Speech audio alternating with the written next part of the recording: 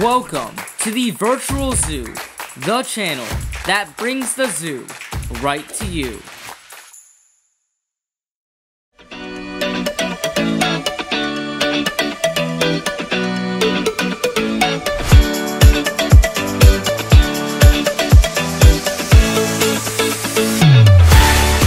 If you're from anywhere other than, well, the South, then you'd probably know that most of us up here just can't seem to get enough of that good old Florida sunshine.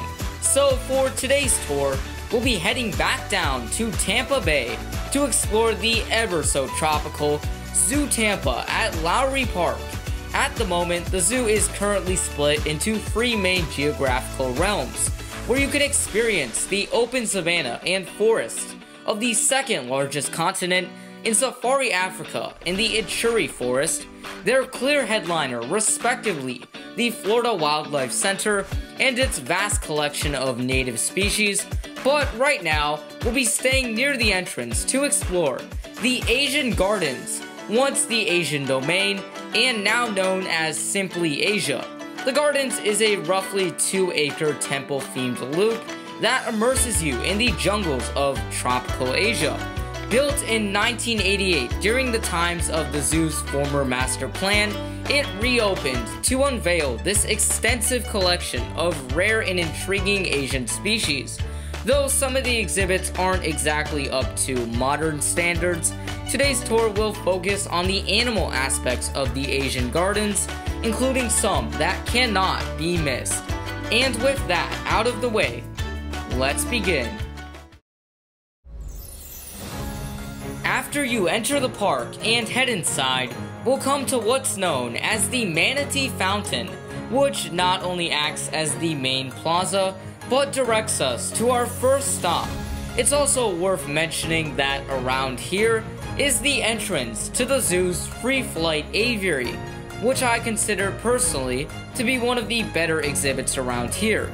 But it all kicks off where the arch once was, and front and center is a kind of interesting laid out space. At one point was apparently home to rhinos, but now exhibiting the Malayan tapir, a pachyderm native to Southeast Asia's Malayan Peninsula.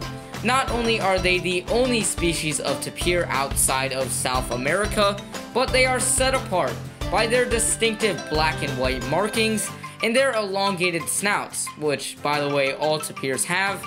But these flexible noses are useful for plucking leaves from plants and scanning the forest floor for a bite to eat. Yet, as fascinating as they are, and by the way, we will talk about them in more depth soon, it's best to keep on moving.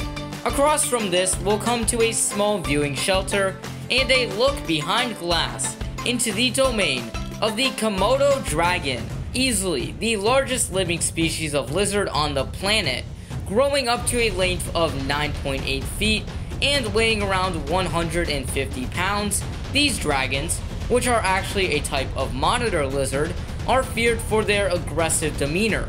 I guess part of that bad reputation is due to their poisonous saliva, which contains some fatal bacteria that will eventually cause their prey to succumb to infection.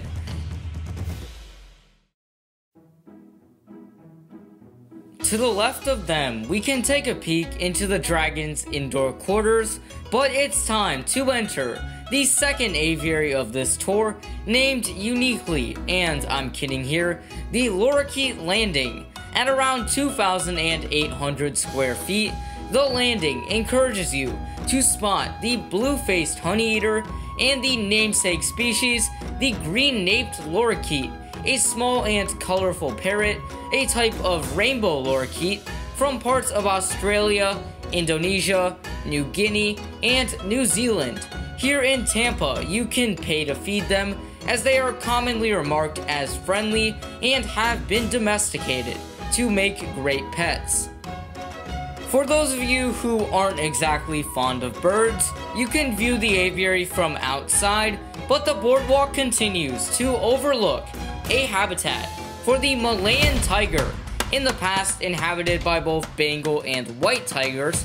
Anyways, the Malayan tiger is one of the more medium sized of its kind and similar to the tapir, patrols the jungles of the Malaysian peninsula, though some sources consider it to be very indistinguishable from the Indo-Chinese tiger. It's said that their black stripes actually help break up the cat's outline, thus allowing them to camouflage in dense vegetation. From there, they'll then stalk their prey, which includes deer, wild boars, tapir, and even young rhinos and elephants. However, they are currently listed as critically endangered due to poaching and habitat loss. Because of this, the Malaysian government has put certain laws in place to protect their national animal and stop domestic trade of specimens. Last I checked, Zoo Tampa was home to both a male and female, and has even had some luck breeding the species as recently as 2016.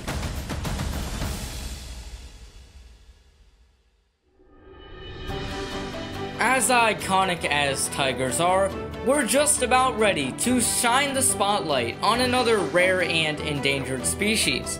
Please welcome the lowland anoa, a small bovid from the Indonesian islands of Sulawesi and Buton, sometimes recognized as the dwarf buffalo. These guys only stand at about 35 inches at their shoulders and live a solitary lifestyle where they browse for plants in the understory. Since they are extremely rare and shy, not much is actually known about them, but what we do know is that they are hunted by some native peoples and face extreme challenges from habitat loss due to logging. When I filmed them in Tampa, I wasn't entirely sure if we'd ever see them again on these tours, but there are only a number of holders in the US. Then I later saw them in Miami, and eventually you will too. Now, if we continue down the boardwalk, we'll stumble across another new species that I've yet to show you. This sizable space was once rotated between sloth bears, but is now solely foraged by the sun bear, the smallest living species of bear. They inhabit the forest of tropical Southeast Asia, and adults only weigh about 55 to 100 pounds. The sun bear gets its name from the orange to cream colored patch that lies on their chest. The small size of this bear, however, perfectly supports a semi arboreal lifestyle, and their stocky build and long curved claws allow them to climb high in search of beehives and fruits. Back on the ground, they can use these same claws to rip open termite and ant nests, from there slurping up the remains with their 8 to 10 inch long tongues. Sadly, much like almost everything we have seen so far, these bears face threats from habitat loss and fragmentation, as well as hunting for some Chinese medicines. Despite this, they are only considered vulnerable in the wild, but are somewhat rare to come by in American zoos. Next up, we're heading back to the island of Sulawesi as we enter another visitor accessible free flight aviary. I guess it's by no means a bad thing that the dense vegetation makes it incredibly hard to spot most of the inhabitants.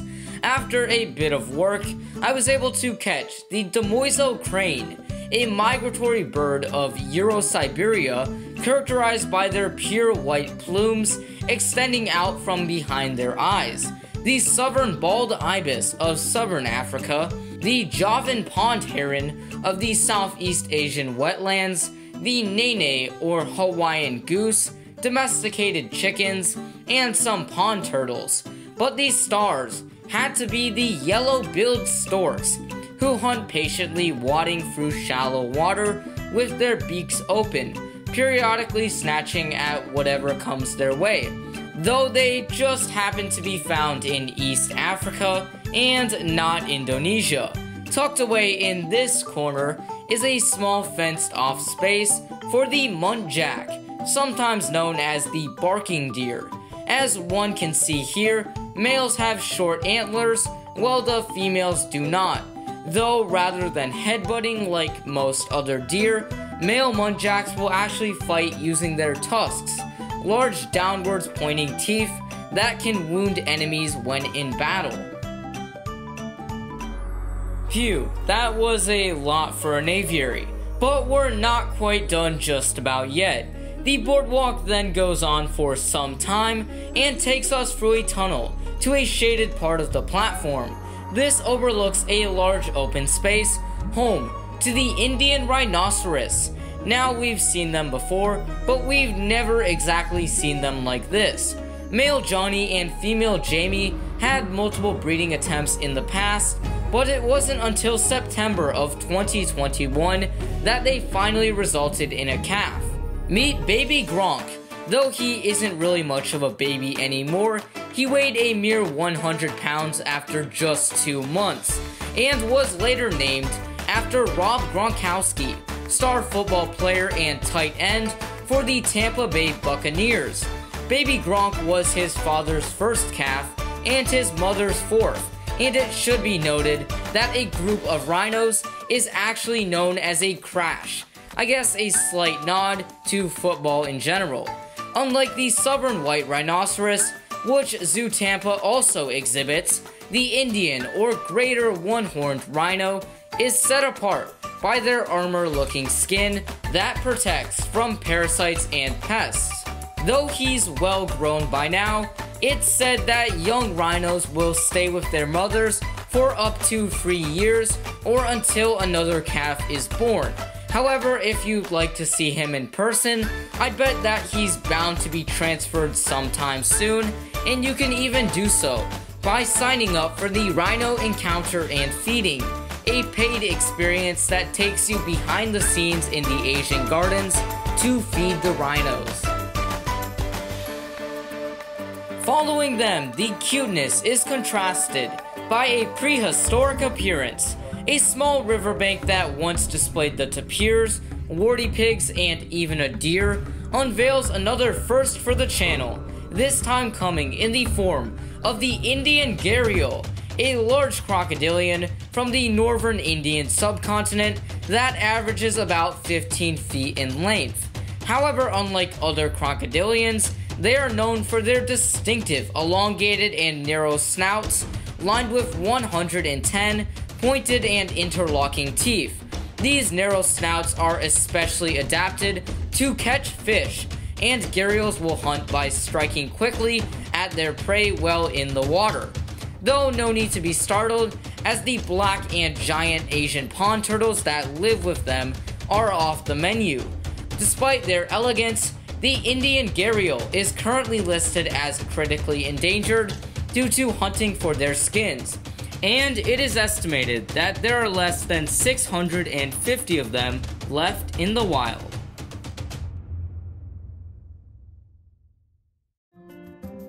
And by now, we're officially done with the boardwalk. Just past the exit ramp, and now to your right, is a small low fenced exhibit complete with a shelter for the Burmese mountain tortoise, also known as the Asian forest tortoise. And yeah, they are a bit small at the moment, but these guys have a long way to go, as the Burmese mountain tortoise is the largest species of tortoise in mainland Asia. Just across from them, in a front wired habitat, formerly exhibiting a clouded leopard for many years, I was lucky to spot the binturong, known to some as a bear cat, resembling a mix between both bears and cats, yet they are actually more closely related to Viverridae, a family of cat-like species, including the fossa and many civets. Binturongs are a primarily nocturnal species that move slowly through the trees in search of fruits and berries, though they are technically omnivores and can eat some insects and fish. I say nocturnal, since they mainly sleep during the day and it is incredibly rare to see them as active as I did here. The binturong is equipped with padded paws and long claws that help them grasp branches. Much like the clouded leopards, their ankles can even rotate 180 degrees to allow them to grip the tree while climbing down head first. Found in Southeast Asia, they are one of only two carnivores to have a prehensile tail and supposedly smell like a fresh batch of popcorn due to a fancy sciencey compound making up part of their urine.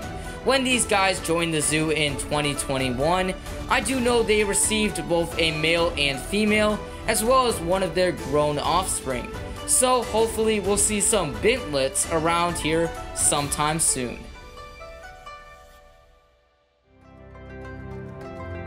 To your right is a small dusty paddock with a fenced front, home to the Visayan warty pig, a medium-sized boar-like creature that resides in small groups, typically of 4 to 6, in a few islands of the central Philippines.